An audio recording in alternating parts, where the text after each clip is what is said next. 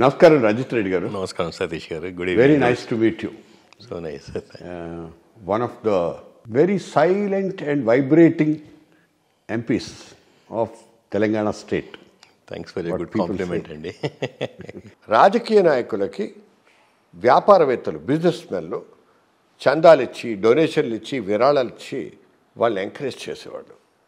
వీళ్ళకి కావాల్సిన పనులు చేయించుకునేవాడు ఇప్పుడు పరిస్థితి మారింది. బిజినెస్ పీపులే వ్యాపారవేత్తలే డైరెక్ట్గా నేరుగా రాజకీయాల్లోకి ప్రవేశిస్తున్నారు. ఇది మంచి పరిణామమా? నా ఉద్దేశం అయితే చాలా మంచి పరిణామం అండి. ఎందుకంటే మీరు అన్నట్టుగా సొసైటీలో పద్ధతులు మారినాయి పరిస్థితులు మారినాయి. మారినట్టు అనుగుణంగా అన్నీ మారుతున్నాయి కాబట్టి రాజకీయాలు కూడా మార మారడం తప్పు లేదు.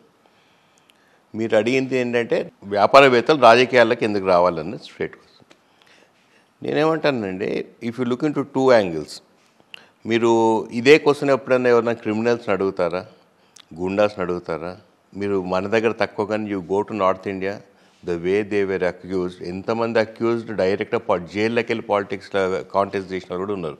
Or accused in criminal offences also అలాంటి వాళ్ళు వస్తే ఎన్నడూ ఎవరు ఏ జర్నలిస్ట్ కూడా ప్రశ్నించలేదు. మీరు నన్ను ప్రశ్నిస్తున్నారు కూడా దానికి కూడా ఆన్సర్ చేస్తాను. గుడ్ రిప్లై సెకండ్ థింగ్ పాత పరిస్థితుల్లో మన ఉమ్మడి ఆంధ్రప్రదేశ్ కానీ సౌత్ ఇండియాలో కూడా రాజకీయాలు ఎలా ఉండంటే ఒక రాజకీయ నాయకుడు రాజకీయం ఇంట్రెస్ట్ ఉన్న అతను సర్పంచ్ నుండి ఎదుగుతూ గ్రామాధ్యక్షుడు తర్వాత ఎంపీటీ అప్పుడు జిల్లా పరిషత్ దాని తర్వాత ఎమ్మెల్యే దాని తర్వాత మంత్రి అట్లా ఎదుగుతూ ఉండేవారు. ఆ క్రమంలోనే ఎదగాలి తప్ప డైరెక్ట్ బైపాస్ చేసి ఎవరు ఎమ్మెల్యేలు ఎంపీలు మినిస్టర్లు కాలేదు ఎప్పుడైనా. So system was like that ఇప్పుడేమవుతుందంటే నిజంగా ఎంత ఎడ్యుకేటెడ్ పీపుల్ వచ్చారు ఈ educated లాట్కి hundred percent they they really would want good uh, things to happen in the society.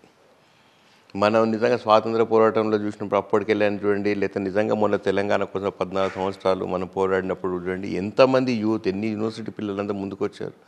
So ఆ యూత్ వల్ల నిజంగా మన దేశంలో నూట నలభై కోట్ల జనాభాలో అరవై ఐదు శాతం population less than thirty five years ఉన్నారు. వాళ్ళు ఏం చూస్తున్నారండి?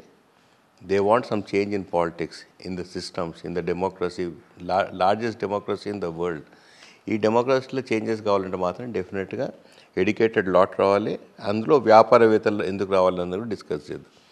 ఎడ్యుకేటెడ్ లాట్ వస్తే మాత్రం చాలామంది హ్యాపీ ఉంటారు. అలా అని చెప్పి అన్ఎడ్యుకేటెడ్ పాలిటీషియన్స్కి వాళ్ళకు ఉన్న ఎక్స్పర్టీస్కి వాళ్ళు పర్ఫెక్ట్గా నడుపుతాం. కానీ రాబోయే రోజుల్లో అన్ఎడ్యుకేటెడ్ లాట్కి అంత ఈజీ కూడా కాదని నా నా అభిప్రాయం.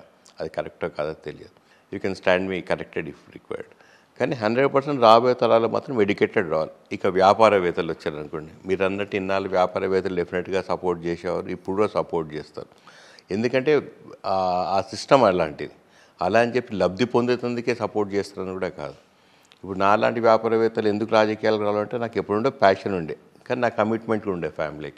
ఆ కమిట్మెంట్ అయిపోయినాక ప్యాషన్ తోటి వచ్చాను ఈ ప్యాషన్లో డెఫినెట్గా వ్యాపారవేత్తలకు ఒక్కటైతే చెప్పగలుగుతాను. వెస్టెడ్ ఇంట్రెస్ట్ తక్కువ ఉంటుందండి. అలా అని చెప్పి ఆ బిజినెస్లో గ్రో నా బిజినెస్ ఉంది మా పార్ట్నర్కి ఇచ్చేసాను బిజినెస్ నడుపుతాను అలా చెప్పి బిజినెస్ మానుకున్నా అనట్లేదు. కానీ నా కమిట్మెంట్ ద బిజినెస్ మానేసి ఇక్కడికి వచ్చాను. చాలామంది బిజినెస్ పీపుల్ వాళ్ళ నెక్స్ట్ జనరేషన్కి ఇస్తున్నారు. నిజంగా ఏజ్ అయిపోయాక ఫిఫ్టీ ఫైవ్ సిక్స్టీతో నెక్స్ట్ జనరేషన్ డెఫినెట్గా ఫాస్ట్ వాళ్ళకి ఇచ్చేస్తున్నారు. సో దిస్ విల్ కంటిన్యూ వాళ్ళకి ఇంకా ప్రొద్దున లేస్తే hundred percent commitment to the constituency ఉంటుంది. పర్ఫెక్ట్గా పనిచేస్తారు.